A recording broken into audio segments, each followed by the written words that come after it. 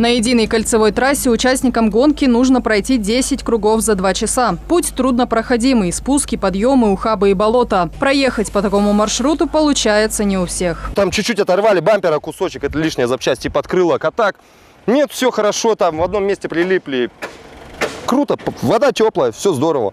Мы улыбаемся. Там очень много лягушек. А, лягушек много, да. Я пока не могу выразить словами. Это очень круто, очень классно. Держалась за ручку Я очень трамвая. рада, что мы поехали в стандарт плюс и попробовали именно вылезти в эту грязь, потому что когда мы первые 10 кругов пролетели, это было круто, но это было сухо. Гонки внедорожников – это для Братска традиционное событие. Зрители с большим интересом всегда наблюдают за соревнованиями. Организаторы молодцы, придумали хорошую трассу.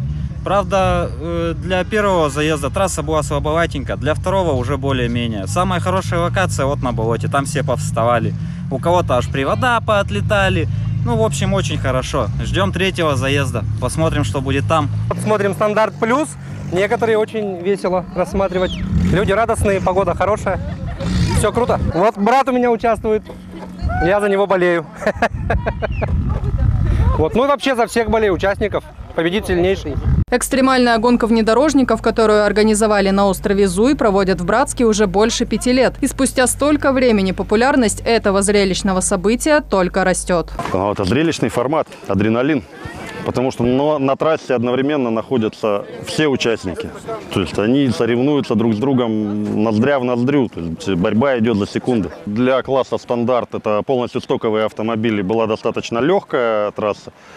Э, Стандарт плюс вот еще пока доезжают, то есть им уже э, хватило по полной трассе, я так понял.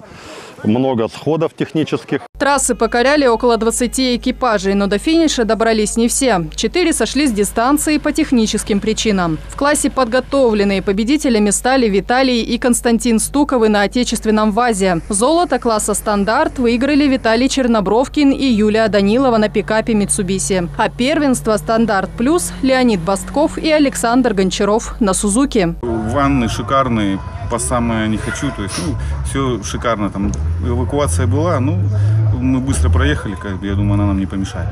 Какие участки были такие самые интересные? Болото? Болото. Болото, вот эти, диагональ, кочки, вот эти все, э, Daihatsu у нас, он догоняет, там, слышите, да, попукивает, это вот он. Организаторы постарались? Конечно.